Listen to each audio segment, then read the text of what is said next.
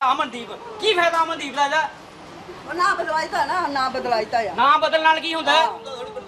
ਤਾਂ ਇਹ ਚੱਲ ਆ ਜਿਹੜਾ ਮਿਨਿਸਟਰ ਲਿਆਣਾ ਤੂੰ ਪਬਲਿਕ ਤੋਂ ਬਾਅਦ ਕੋਈ ਮਿਨਿਸਟਰ ਨਹੀਂ ਹੁੰਦਾ। ਜੁੱਤੀਆਂ ਹੁੰਦੀਆਂ ਸਾਡੀਆਂ ਸਾਰੀਆਂ। ਇਹ ਤਾਂ ਪਬਲਿਕ ਪਾਗਲ ਹੈ ਜਿਹੜੀ ਤੁਰੀ ਰਹਿੰਦੀ ਇਹਨਾਂ ਦੇ ਪਿੱਛੇ। ਅੱਜ ਸਾਡੀ ਭਨੇਵੀਂ ਤ੍ਰਿਸ਼ਾ ਜਿਹੜੀ ਕਿ ਨਰੋਟ ਜੈਮਲ ਸਿੰਘ ਸ਼ੇਖੂਪੁਰਾ ਪਿੰਡ ਦੀ ਰਹਿਣ ਵਾਲੀ ਹੈ। ਇੱਥੇ 2-4 ਦਿਨ ਦੀ ਆਈ ਹੋਈ ਸੀ। ਉਹਦੀ ਥੋੜੀ ਮੈਡੀਕਲ ਥੋੜੀ ਬਿਮਾਰ ਹੋਣ ਕਰਕੇ ਸਰ ਕਿਸੇ ਡਾਕਟਰ ਨੂੰ ਦਿਖਾਇਆ ਉਹਨਾਂ ਨੇ ਕਿਹਾ ਜੀ ਇੱਥੇ ਟੈਸਟ ਕਰਾਉਣ ਵਾਸਤੇ। ਤੁਸੀਂ ਅਮਨਦੀਪ ਚਲੇ ਜਾਓ ਜਿੱਥੇ ਕਿ ਇੱਥੇ ਟੈਸਟ ਹੁੰਦਾ।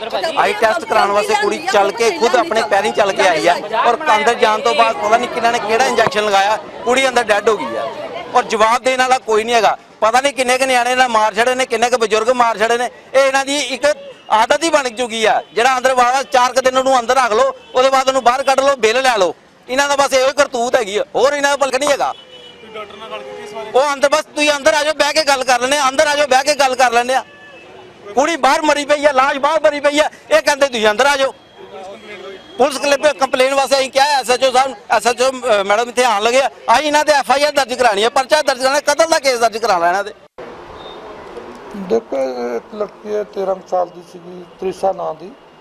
ਇਹ ਡਾਕਟਰ ਦਵਿੰਦਰ ਸਿੰਘ ਆ, ਇਹ ਅੱਜ ਹੀ ਲੈ ਕੇ ਆਏ ਸੀਗੇ ਇੱਥੇ ਡਾਕਟਰ ਨਿਲ ਕੁਮਾਰ ਜੀ ਕੋਲ। ਉਹਨਾਂ ਨੇ ਕੋਈ ਟੈਸਟ ਕਰਾਉਣ ਲਈ ਇੱਥੇ ਭੇਜਿਆ ਸੀਗਾ।